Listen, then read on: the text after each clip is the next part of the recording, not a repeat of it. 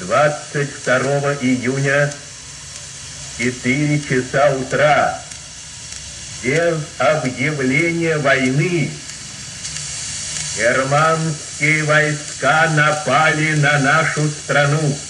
С этого трагического сообщения началась война. Перевернулись тысячи судеб советских людей. Народу пришлось забыть о планах и встать на защиту Родины. Это было 77 лет назад. Уже не первый год, накануне 22 июня, во многих городах России проходит акция «Завтра была война». К ней присоединились сотрудники Главного управления МВД России по Алтайскому краю.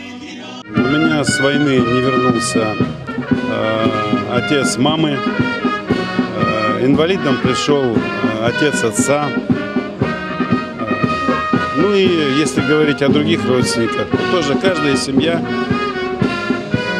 потеряла близких. За годы войны, по официальным данным, погибло 26 миллионов наших соотечественников. 4 миллиона – это дети.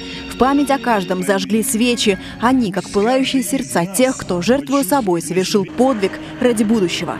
Нынешнее поколение, в том числе и я, которые не знали, не видели, даже не чувствовали того, что чувствовали наши предки, когда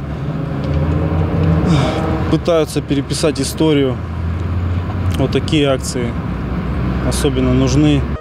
Торжественная церемония длилась недолго, без лишних слов и пафоса. Наверное, так и должно быть в День памяти и скорби. А после в небо запустили несколько десятков белых шаров, как символ чистого, мирного неба.